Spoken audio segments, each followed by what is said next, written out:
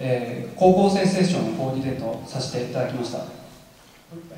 えー、高校生セッションの、えー、これから報告をさせていただきます、えこの高校生セッションは、えこれから、え高校生が出てきて日本ジオンパーク高校生宣言というものを、え発表します、えこれに向けて昨日、え今日と、え時間を使って、えみんなでディスカッションして、え意見交換して今、えーと、皆さん袖のところで待機しておりますので。その前に私が、内容を少し報告させていただきます。まず昨日ですけれども、えー、ミクロドンから高校生に、えー、室戸高校の高校生が、えー、室戸岬のジオツアーを、えー、行ってくれました。その際に、えーとまあ、僕が一番、えー、驚いたのは当然その実質の内容も、えー、いっぱいお話ししてくれたんですけれどもいっぱいギャグが入ってました。でミクロドのその、えーと、中から外例えば見た時にどういう何が見えますかって聞かれたんですね。で僕はてっきりなんか仏教に関係するものかなとかあるいはなんか歴史的な史実に関するなんかそういうことがつながってるのかなと思ったらですねヒントはピって言うんですよ。でピって何だろうって余計ピっていう言葉から始まるのってないので何かなと思ったら答えはピカチュウだったという。でそういうあの、まあ、今の、えーと、会場の皆さんの反応も見ても分かる通り、まあ、現地でもあんまりこう大きなお笑いは、えー、あの出なかったんですけれどもただですねその後も例えばこのね岩は何でできてると思います？答えはコンクリートとか一生懸命ギャグを入れて、えー、楽しくジオツアーをしてもらいました。えーと、僕はこれまで、えーと、いろんなそのジオツアーの高校生に見せていただいた中で一番ギャグが、えー、いっぱい入ってました。しかも受けなかったけど頑張ってました。えと、そうした、えー、とツアーの後ですね戻ってきて室戸高校の、えー、と文化会室で、えー、セッションを行いました、えー、最初は、えー各ジオパークの取り組みについて、えー、特に防災ということも、えー、入れて、えーと、意見交換というかプレゼンテーションをしました、えー、阿蘇糸魚川三陸山陰海岸島原、えー、この5つの、えーと、ジオパークにおける高校生の活動および、えーとまあ、伊豆総合高校の、えーと、取り組みを紹介しました。でこの会に先駆けて、えー、とアンケートをえ私が皆様に、えお願いしてましてでそのアンケートの結果も、えーと、入れました。で写真を見ていただくとですねあのこうジオパークの多様性というのは、えー、いろんなところで話題になりますが高校生の発表も、えー、非常に多様でした、えー、アプローチの仕方が非常に歴史的であったり、え統計の手法を使った社会科学的なものであったり、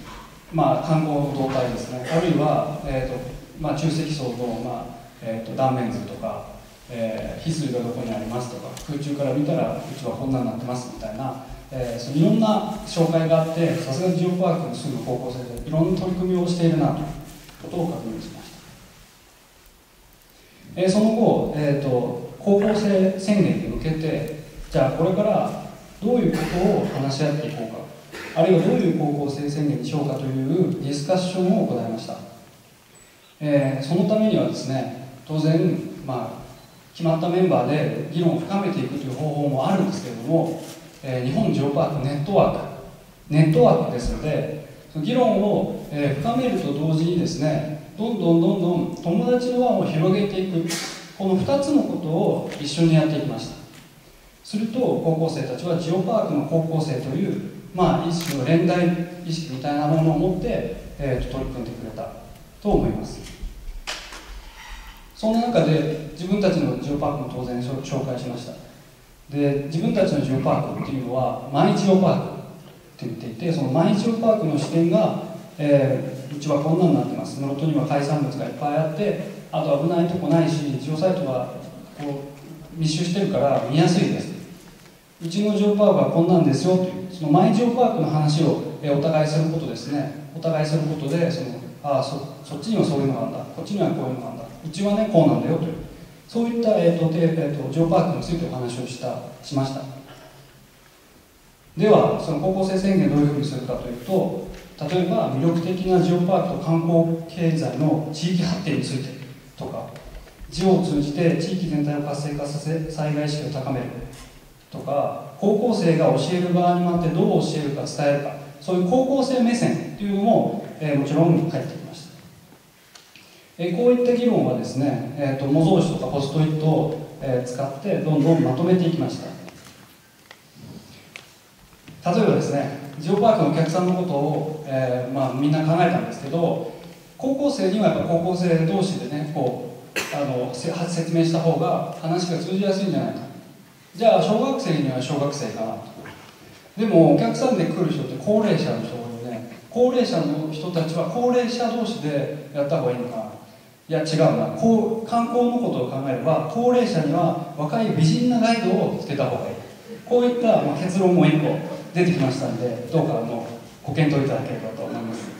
えー、また普段の学校の勉強についてはジオパーク学習を必修するなんて非常にまあ取り組みの真剣な意見もあったんですけれども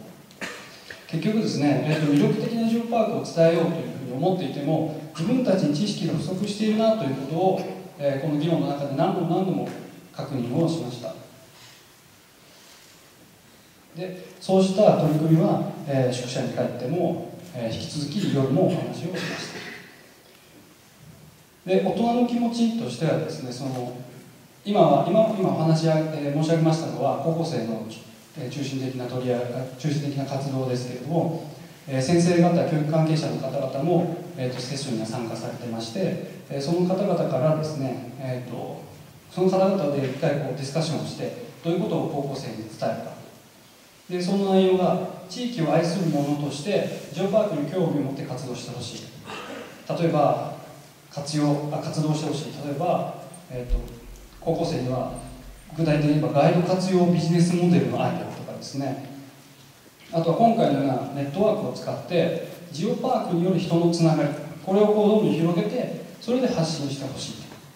えーとまあ、学校の先生の、えーと、僕も、えーと、そういう思いですけど教科の枠を超えて学習してほしいしかも教科っていうのは学校で準備したものなんでそれを超えて自分で勉強するってことはつまり主体的にやっていくってことなんですよね。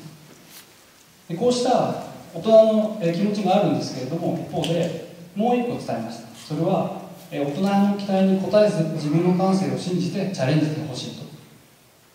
えこういったことを、えー、と伝えまして高校生たちはえ先ほどの議論にえブラ議論をブラッシュアップさせえ今回の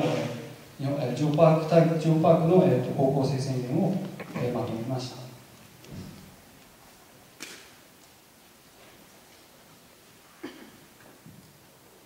えー、それでは高校生宣言をご紹介いたします。高校生の皆様どうぞお願いくださ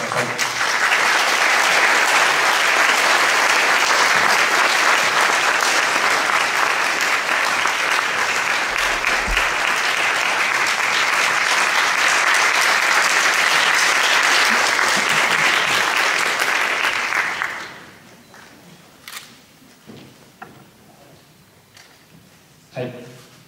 えー、それでは高校生宣言を、えーと、まず最初にご紹介いたします、えー、高校生宣言、えー、1から6まであります。それぞれ、えー、こういったタイトルになっていますけれども、えー、そのタイトルキャッチフレーズです。キャッチフレーズと同時にどういうことをこれで言言いたいのかっていうのをこれから高校生の皆様に自分の口で語っていただきたいと思います。ジオパークの楽しさをもっともっと笑顔で伝えるぞ。僕たちはジオパークの楽しさをいろんな人に知ってもらい笑顔になってほしいと思っています。そのためにはまず自分たちがジオパークについて十分理解し楽しく笑顔で伝えることによってジオパークの楽しさを知ってもらえると思っています。そしてそれを聞いた人がいろんな人に話したくなるようなそんなジオパークの楽し楽しさを広げていきたいと思います。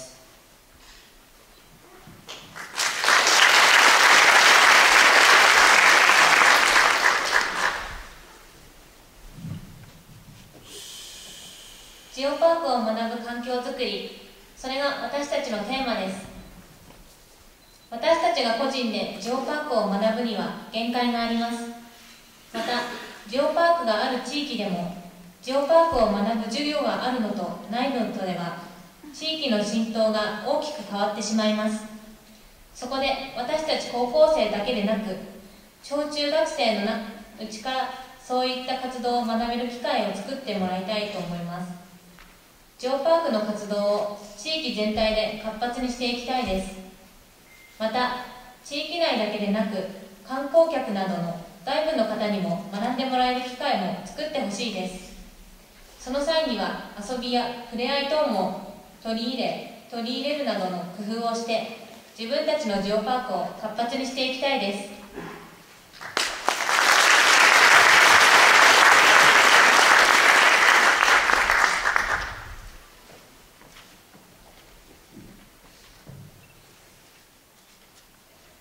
そこで私たちはジオパークの魅力を伝えるために私たちにできることを考えた結果まず私たちは自分たちがジオパークに興味を持ちジオパークに関わりよく知って下の世代に伝えていく必要があります。そのために楽しいイベントやパンフレットの作成などをしてよりたくさんの人にジオパークの興味を持ってもらえるようにします。最終的にはジオパークがネズミさん式のように地域に広がり地域が一つになるようにしたいです。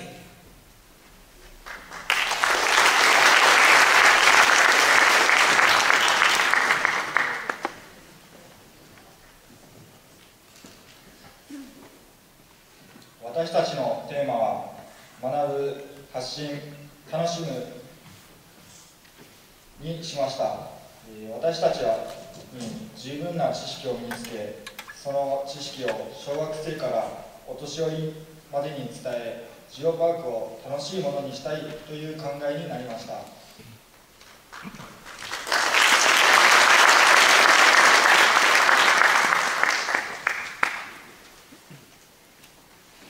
ジオパークについてもっと知識を高めるぞ。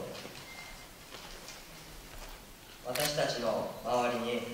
ジオパークについて何も知らない人がたくさんいるのでまずは地域の高校生や地元地元の方々にジオパークについて知ってもらいたいと思いました。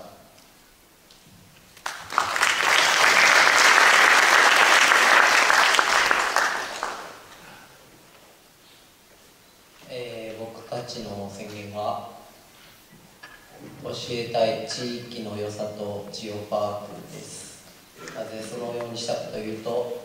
ジオパークの良さやジオパークが何か知らない人も多いです。ジオパークを知ることでその地域の良さを知ることができます。そのためにはまず僕たちがジオパークについて学び地域の良さを知ることが大切です。そのことを自分たちの地域に対する思いが伝えられると思いました。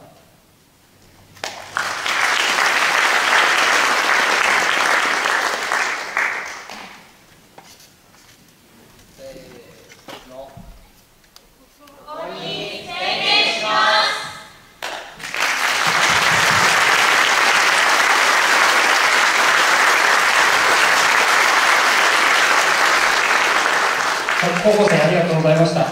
以上で高校生宣言の、えーと宣言とさせていただきます。ありがとうございました。